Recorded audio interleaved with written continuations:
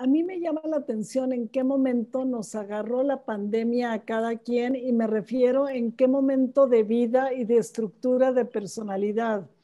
Eh, cómo estaban nuestras envolturas y nuestras rupturas en ese momento y cómo evoluciona, porque cuando regresemos, eh, hay personas que les va a costar mucho más trabajo porque tienen indiferenciada esta parte de la adentro y de la afuera. Entonces, en esta indiferenciación hay ciertas patologías que les va a ser mucho más difícil, que les fue más difícil la pandemia y les va a ser más difícil el regreso.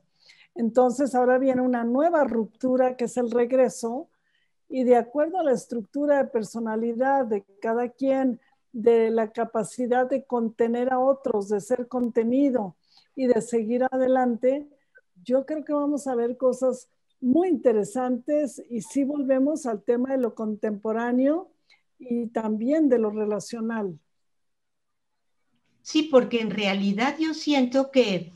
esto de decir que vamos a regresar a una nueva normalidad, si es nueva, no podemos regresar. Es decir, si es nueva, es que nos estamos moviendo hacia una nueva normalidad distinta de la que teníamos. Y coincido en el hecho de que mucha gente que tiene estas dificultades en separar el yo, no yo, y que se siente tan, tan unida a su entorno, que cuando su entorno cambia eh, o le es totalmente inalcanzable, porque cuando se estuvo en, en reclusión, pues mucho del entorno era inalcanzable, hubo muchas personalidades que se sintieron poco definidas y se empezaron a cuestionar muchas cosas. Y yo creo que esto se va a acentuar al llegar a una nueva normalidad porque va a haber muchas cosas extrañas o muchas cosas que se hagan de una forma distinta, poco, que les es poco familiar.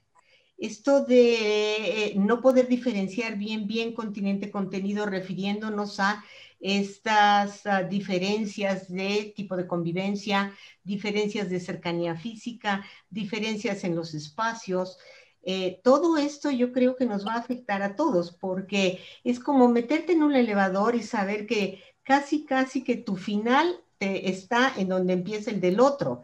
Pero ahora si, esas distancias entre unos y otros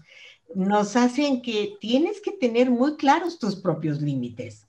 porque ya no te definen los otros, tú te defines. Y esto sí presenta un problema para ciertas personalidades no en balde hemos tenido tantas crisis de ansiedad en tanta gente que hemos tenido que atender en estos días, ¿no?